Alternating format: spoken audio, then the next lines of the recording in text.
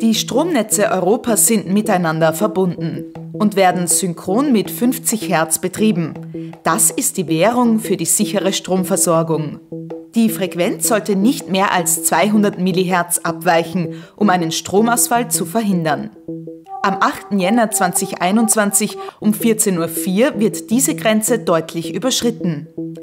Ein hoher Stromfluss von Süden nach Norden führt zur Überlastung eines Anlagenteils in einem kroatischen Umspannwerk. Innerhalb von Sekunden fallen daraufhin in mehreren Ländern Südosteuropas nacheinander 14 Leitungen und andere Netzelemente aus.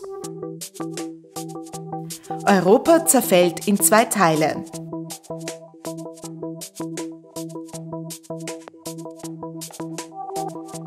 Das führt dazu, dass im Süden zu viel Strom im Netz ist.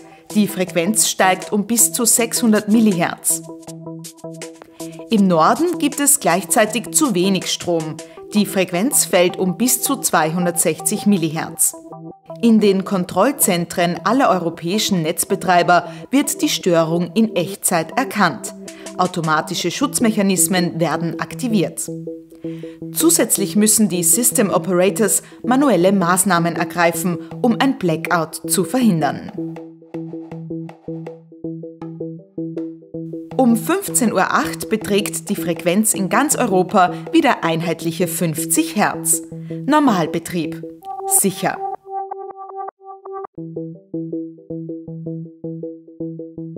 Europa braucht Strom. Sicher und erneuerbar. Dafür benötigen wir leistungsstarke Netze, flexible, nachhaltige Speicher- und Erzeugungskapazitäten, Nutzung von Flexibilitätsoptionen.